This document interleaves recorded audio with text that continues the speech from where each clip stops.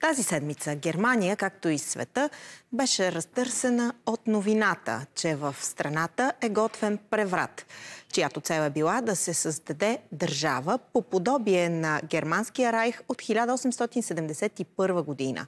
Зад този преврат стоят от движението гражданите на райха – кои са тези хора, колко опасни са били плановете им и какво означава случилото се в Германия за цяла Европа. Включваме сега кореспондентът ни там Натали Пашева. Добро утро!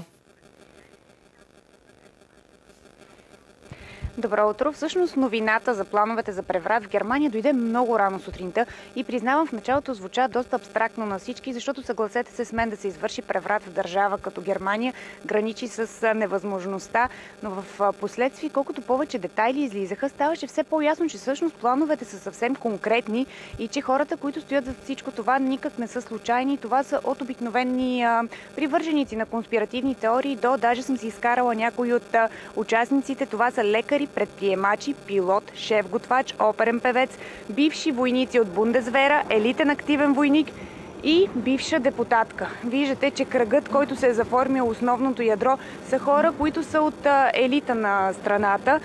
Но нека преди да говорим конкретно за тях, да кажем какъв е бил конкретният им план, който са имали. Денят Хикс е трябвало да се случи в началото на септември. Тогава отряд от командоси от тези бивши войници е трябвало да нападнат германския Бундестаг. Те са били въоръжени, имали са и нужното специално обучение, да изкарат с белезници депутатите от там, след което по радиото е трябвало да се чуе кодова дума, която пък да доведе до спиране на тока. Трябва да се предизвика ситуация подобна на гражданска война и така по този начин да се създаде новото управление. В неговата основа е трябвало да бъде а, принц Хайнрих 13, който стана публично известен тази седмица в Германия. Нека кажем и няколко думи за него, защото профилът му е интересен. Той идва от така богата и ползваща се в миналото с много престиж в обществото фамилия от Тюрингия, тя е с 800 годишна история. Оказва се, че има и следа, която води към нашата страна. Царица Елеонора, втората съпруга на цар Фердинанд Български, е била първа братовчетка на бабата на принц Хайнрих 13, Мария Рената. А, така че този принц, фамилията, от която той идва, е наистина, така, как да кажа, с дълга история и с много престиж се е ползвала в а, обществото. Негов роднина каза, че преди 30 години този човек е бил, цитирам, модерен, здраво стъпил в съвремието предприемач. Възгледите му обаче през годините се променят и през 2019 година на реч, която държи в Цюрих, става ясно, че мислите му вече са други. Той вярва, че Германия не е суверенна държава и че се контролира от съюзници. И всъщност това дава заявка за своите, за своите възгледи, но никой, дори роднините му, не вярва, че той е можел да стигне толкова далеч.